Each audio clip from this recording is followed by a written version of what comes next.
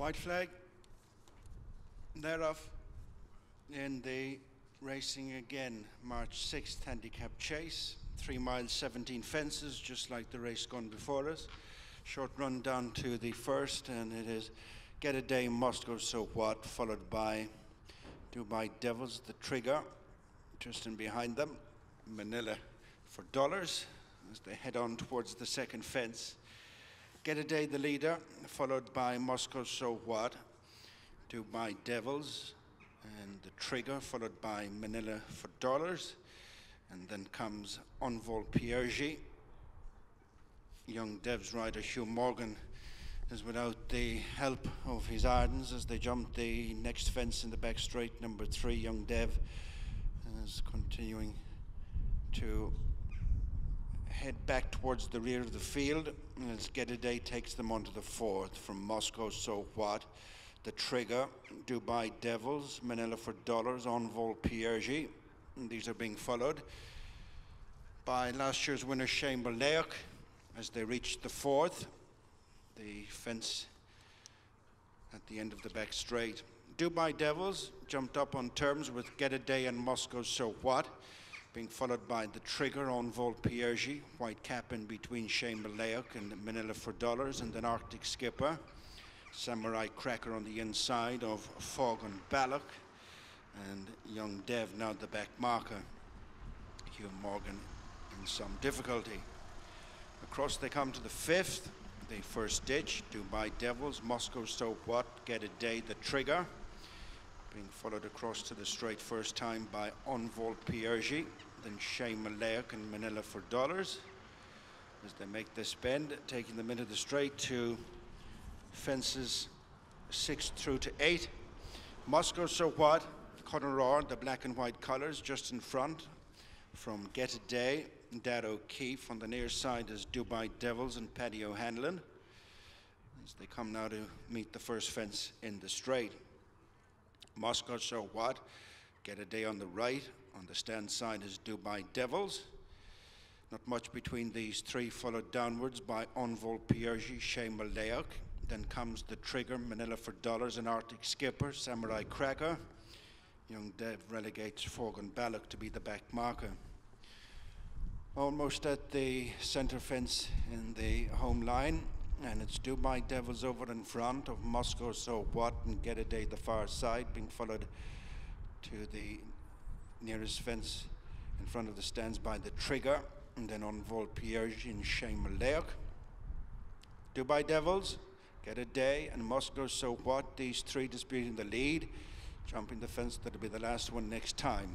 And the three mile racing again, March 6th, handicap chase. Get a day on the rail, Moscow, so what?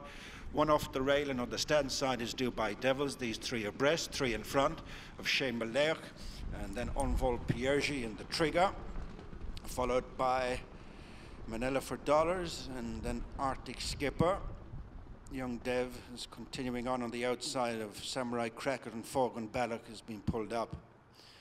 Nine fences left to jump as they head on inside halfway. Moscow, So What, Get a Day, Dubai Devils, the three in a line, followed by the Trigger.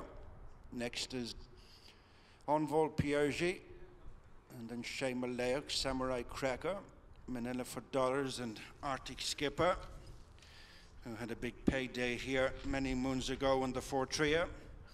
As they raced past the 10 furlong point, eight fences left to jump. Moscow, So What, Dubai Devils, and Get a Day. Two and a half in front of the trigger. Envol Piergi, Shea Malayak, Manila for Dollar, Samurai Cracker, Arctic Skipper Young Dev. As they jump the fence across from the stands, nine furlongs to go, seven left. Dubai Devils on the outside of Moscow, So What on the inner is Get a Day, length and a half back to the trigger, and then Envol Piergi, followed by Shea Malayak and Manila for Dollars, Samurai Cracker, Young Dev, and Arctic Skipper. Racing to the next fence on the far side, Get a Day over in front of Moscow So What, Dubai Devils, tracked by the trigger, Manila for Dollars, Envol Piergi, Shea Malayak next, and then Samurai Cracker. Arctic Skipper and Young Dev. Six and a half furlongs to go. They've five fences left to jump. And it is Get a Day, Moscow So What, Dubai Devils, still the top three, followed by The Trigger, and then Envol Piergi and Shea Malayak. Jumped that one well on the outside, gets into contention with less than three quarters of a mile to go. Four fences to jump, and it's still the same three up front. Dubai Devils, Moscow So What, Get a Day. Closing is Shea Malayak. Under pressure is Envol Piergi. As they come to the last ditch, four from the finish.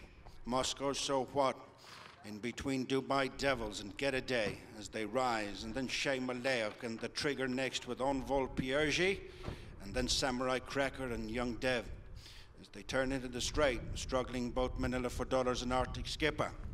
Homeward bound, four furlongs to go and three fences left, and it's Dubai Devils with a fractional half a length advantage over Moscow. So what? Get a day, Shea Malayak trying to respond, the grey Envol Piergi. Coming to the third last fence, the top of the track, and it's Dubai Devils, the leader from Shea Malayak on the outside, who's continuing to make headway. On the far side is Get a Day. These three are followed by Moscow So What and Young Dev. Despite Hugh Morgan without his irons, is staying on on the outside, and then Samurai Cracker coming down towards the second last, and Shea Malayak has come to pick it up from Dubai Devils and Young Dev. This will be a miracle if he wins. On the far side is Get a Day, and Get a Day is a crunching faller as they come down, down to the final fence. Quickly up is the rider Darragh O'Keeffe, and it's Shea Malayak from Dubai Devils, and in between them is Young Dev as they come to the final fence in this three mile handicap. And the grey Young Dev over on the far side has come to pick it up from Shea Malayak. In third place is Dubai Devils, and up the hill towards the finish, it is Young Dev on the far side, and Hugh Morgan for a remarkable win. This is extraordinary, Young Dev from Shea who's fought back to be beaten three parts of a length. In third was Dubai Devils, and then Samurai Cracker. Extraordinary is the word. That Ten out- something else, really. 10 out of 110 out of 10 to Hugh Morgan. Uh, How many would have even kept going after what happened so early in the race? no, I don't know, Gary. None, nobody. I, I think his right stirrup is gone. We can't see. We couldn't see it flapping as he went through the race. His boot is open. That's only from friction. But yeah, the stirrup is gone. Look right under the stick. You see where the where the leather should be going into the saddle. It's gone. Um, and he's ridden them for one, two miles, six and a half furlongs. That is horsemanship at its absolute best. Uh, take a bow. And he's getting a great reception, justifiably. I mean, we saw him early on in the race, Ruby. He jumped a few fences, and God only knows how uncomfortable that was. Then we saw him having a chat with Donagh Meyler. The two of them were at the back of the field. Donagh Meyler ended up pulling up with a circuit to go, and he had his irons. but it's uh, like you're Gary the fitness to do what he's just done. The amount of power, grip, and fitness that he's had to had to keep going, keep his balance, and watch him doesn't move. His body stays perfectly straight at every fence. He doesn't even look like he's going to come off at any stage. Jumps the last, and he gets stuck into young Dev then, and he keeps going. But that is that was brilliant to watch. That is what riding. That's right. That's riding. Simple as it's. Unreal it It's proper. And the first couple of fences, you could see after it happened, he was just worried about getting over them. Then after a while, he started, you could clearly tell watching, he started to get a bit more comfortable and he was actually firing him into fences and getting some great yeah, jumps out uh, of the he horse, was, but uh, grip and look, yeah, everybody is, or you should be taught when you're younger to ride bareback, basically. So that's what you're doing. Um, but we can all do it. Can't turn around. I don't know how many people could do it in a, in a chase for this distance. But it's, I think, a testament to Hugh Hugh Morgan's his fitness, uh, his determination, and that's a will to win. just would not take no for an answer. Henry de Bromhead, actually, his boss, was watching the race not too far away from us here, and he was just saying he's doing a bit of show jumping and what have you of late, and that obviously would have stood him in good stead in a situation like this too, wouldn't it? Uh, it would, but it's it, the grip, the power he has in his thighs. He, his legs are wrapped around this horse, and it's brilliant to watch. Yeah, it's really something out of the ordinary here at Navan this afternoon. Full credit to the young man. And Denis Hogan and the owners of the horse will be absolutely thrilled. Hopefully, there'll be no issues here when he goes to weigh in either. No, it does look like that, that leather and I. Well, we've just had a really extraordinary race for the three mile handicap chase here at Navan. That's the only way you can describe it, I think. It was won by young Dev under Hugh Morgan, who's with us now.